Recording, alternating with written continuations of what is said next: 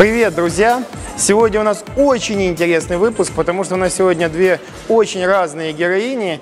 Это Эльвира, профессионал в области бодифитнеса, и Кристина, просто фотомодель, которая спортом профессионально не занимается, но просто хочет иметь красивую попу. Помимо того, что модели у нас очень интересные, самое главное это суть этого видео. Мы покажем два упражнения для ягодичных мышц, очень редкие, действительно, очень эффективные. И простите, они выглядят, может быть, немножко э, неприличные эти упражнения, но зато они хорошо работают, и ягодичные мышцы будут у девушек просто разрываться. Ну и многим мужчинам тоже надо накачать себе попу, потому что девушкам не нравится, когда по пляжу идет мужчина, у него большой бицепс, а там ничего нет, правильно? Я думаю, девушки меня поддержат. Вот. И сейчас мы посмотрим, как это упражнение делает профессиональный тренер Эльвира и как э, Кристина, как, как, допустим, рекомендует она выполнять такие упражнения начинающим девушкам, с каким весом и с какой техникой. Смотрите и получайте массу удовольствия. Мы берем обычную машину Смита и будем в ней тренировать ягодицы лежа на спине.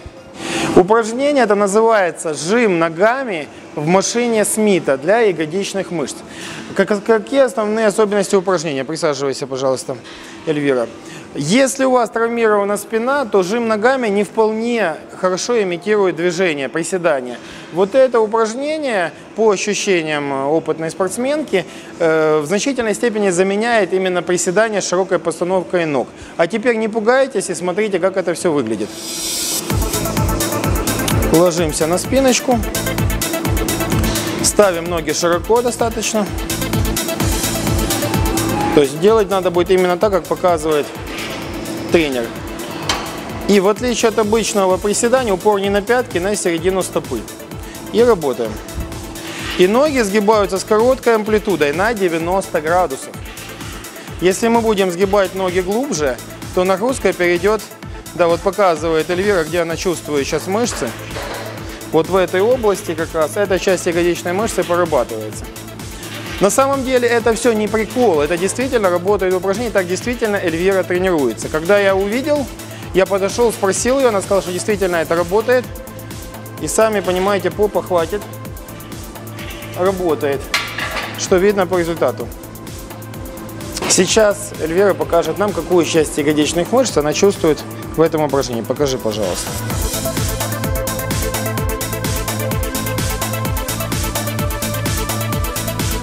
Вот у нас теперь попробует это упражнение сделать любитель. Посмотрим, что почувствует девушка, которая это упражнение никогда еще не делала, и можно ли его делать, присаживайся, начинающим. У нас все говорят Кристине, то, что она похожа на Камерон Диас, то на Кристину это не могут определиться.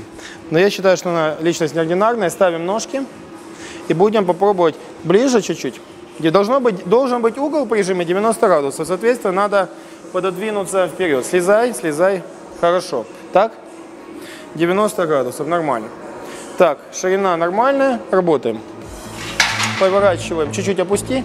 Не забываем повернуть. И работаем. И стараемся не отрывать, да, поясницу от скамейки. То есть поясница должна упираться. Наоборот, руками возьми снизу за скамейку и прижимай. И глубоко не опускаем. До конца ноги тоже не выпрямлять чуть-чуть, правильно? Давай, выпрямляем. Хорошо. И делаем, пока что-то не почувствуем. Легко? То есть можно даже начинающим давать больше вес. И сейчас Кристина нам покажет ручкой, какие мышцы она чувствует в этом упражнении. В идеале должен работать бицепс бедра и ягодичная мышца, определенный участок. То есть вот бицепс бедра и ягодичную мышцу. Спасибо. То есть мы видим, что работают именно те мышцы, которые все девушки хотят себе поработать. Теперь обратим внимание, какая должна быть ширина ног. Если мы поставим ноги вместе, у нас работаем, и будем выполнять с узкой постановкой ног, то больше будет работать квадрицепс, внешняя часть бедра. Если же мы поставим ноги, так как мы это делали, широкой постановкой ног, немного разведя чуть-чуть носки в стороны, работаем то больше будет работать ягодичная мышца и внутренняя часть бедра девушки. Упражнение это делают, повторюсь, многие профессиональные спортсменки выполняют. э, которые выступают в бодифитнесе, фитнес-бикини, и это вполне серьезное упражнение. Итак, снова у нас появляется опытный спортсмен в кадре.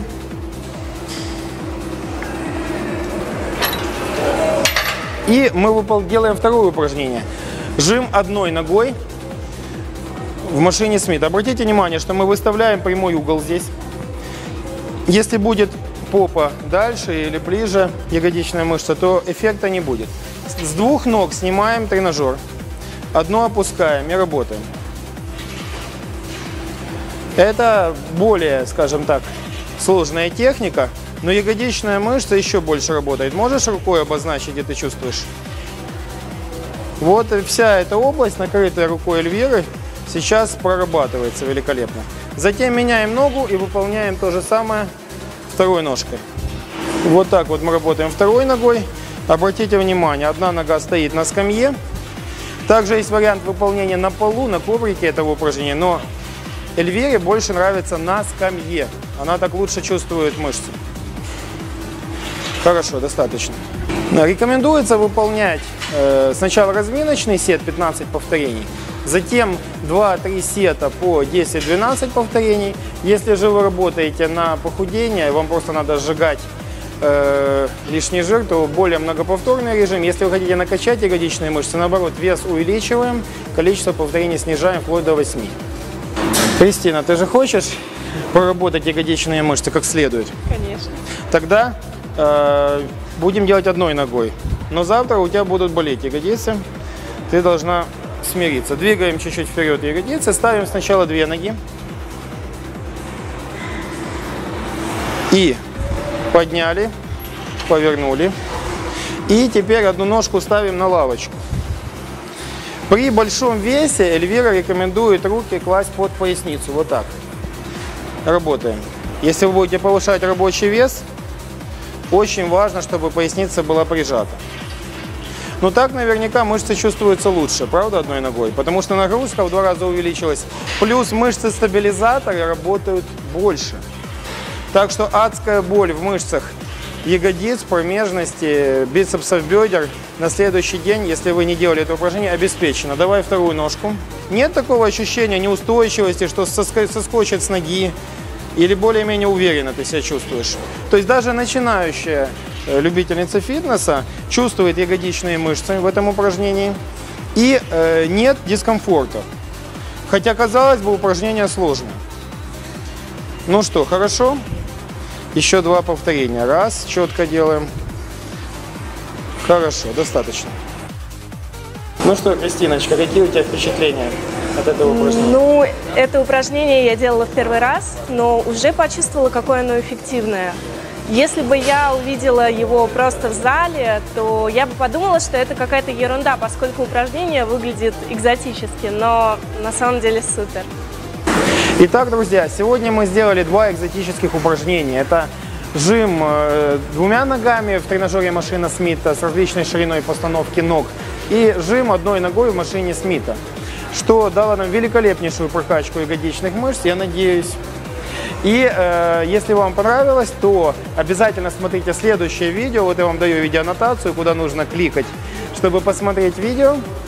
Э, э, жим, толчок одной ногой в тренажере для жима ногами, спиной к тренажеру, для тренировки ягодичной мышцы. И приседания у нижнего блока кроссовера тоже для ягодичных мышц. Эти два видео также заставят ваши мышцы попы просто разрываться. Так что обязательно смотрите. И, и также в следующем видео вы увидите фотомодель Кристину и спортсменку Эльвиру. До следующей встречи. Пока!